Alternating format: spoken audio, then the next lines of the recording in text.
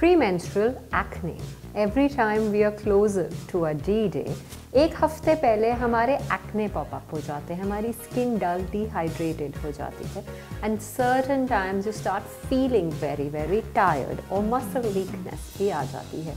नमस्ते एवरीवन मैं विभूति अरोरा, आपकी फेस योगा प्रैक्टिशनर और आज मैं आपको कुछ टिप्स दूँगी प्री मेंस्ट्रुअल एक्ने को कंट्रोल करने के लिए एंड प्राणायामिक फेस योग एक ब्रेथ जो आप कर सकते हैं अपने एक्ने को रिड्यूस करने के लिए भी। पहले समझते हैं concept why is it that we tend to break out every time we are going to chump Our period cycles are typically made of 28 days. Mid-cycle, हमारी एस्टोस्टेरॉन और प्रोजेस्ट्रिन levels actually imbalance हो जाते हैं closer to our period, one week before our period, our testosterone levels actually initiate on the rise. What does this actually cause? This causes excess sebum production. Sebum basically is the oil we actually feel onto the surface. Now, when your body goes in for an excessive sebum production, या ये oiliness हमारे face पे जब बढ़ जाती है तो open pores हमारे ज़्यादा हो जाते हैं, हमारे pores clog हो जाते हैं। ऑयल बढ़ गया है तो अगर कोई under skin white head black head pimple papule pustule है तो वो पस फिल्ड भी हो जाता है एंड इन्फ्लेमेशन हो जाती है।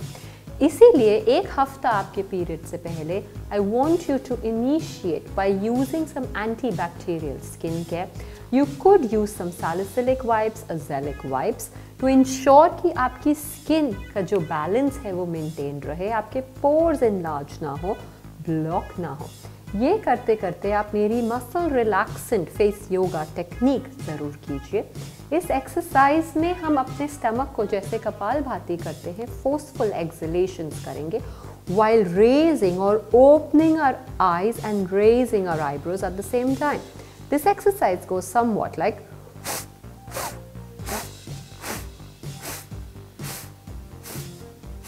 इसमें हमारा कोर भी एंगेज हो रहा है, हमारे फेस भी एंगेज हो रही है और हमारा ब्रेथ भी एंगेज हो रहा है।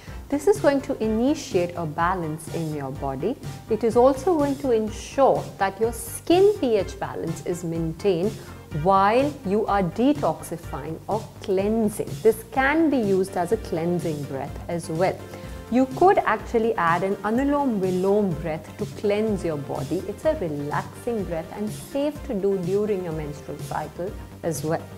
Period से एक हफ्ता पहले आपने सैलिसिलिक एसिड या अजेलिक एसिड बेस्ड वाइप्स या स्किन केयर तो यूज़ करना ही है उसके अलावा because there is a lot of muscle weakening tiredness in your body you must have water rich foods you should have watermelon, oranges, zinc rich food items. And if you feel that these are not seasonal fruits or available, it would be a good idea to have a vitamin tablet which is rich in vitamin D, A, E, C and zinc because that's where the mineral loss of your body happens and you need to get yourself moving up and about. इसके साथ साथ you must definitely have natural sources whether it's through vitamin C oranges amla haldi shot turmeric shot as I like to advise because this helps with the body healing or coping ability for our body. You must ensure that you have iron rich soups such as palak soup or beetroot soup one week before your period because when there is blood loss, there is weakness and you are replenishing the levels of your body by doing so as well. इसके अलावा one week before आप अपने face को scrub कीजिए because your pores are going to be clogged or blocked for that week because of the excess sebum production. But closer or when you are on your period, avoid facial scrubbing. Instead, you could do face lifting exercises such as these.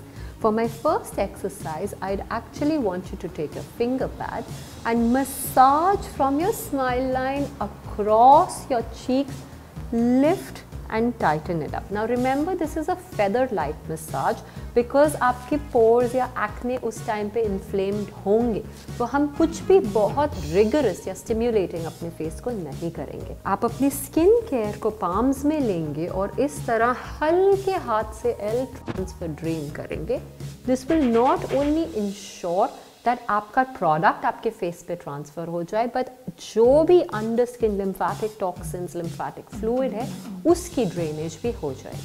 I hope आपको मेरे ये tips पसंद आए। Let me know in comments what would you like me to address next नमस्ते everyone signing off Vibhuti Arora.